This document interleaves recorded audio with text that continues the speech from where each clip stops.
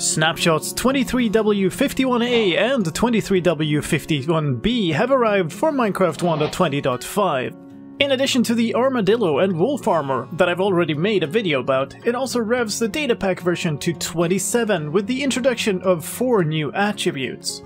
My name is Sliced Lime and I'm here to show you all the technical changes. Let's start with those attributes. The most obvious one is the generic.scale attribute. This can be used to scale any living entity up or down between sizes 0.0625 up to 16 times the normal size. You can change this on mobs as well as on players using the attribute command. The second new attribute is generic.step_height, which controls how far up you can step without needing to jump. The default is 0.6 and the valid range is from 0 to 10. You can step up a wall if the total height of that wall is strictly less than your current step height value. There are two other attributes in this version and they're closely related. Generic.block interaction range and generic.entity interaction range. They both range between 0 and 64, but the block range defaults to 4.5 while the entity range defaults to 3. The range controls how far you can reach in interacting with blocks or entities respectively.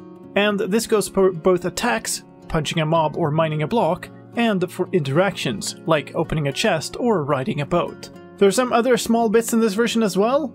In damage news, Llama Spit is now its own damage type called Spit, and wind charges also have their own wind charge damage type if you have the Update 121 experiment on.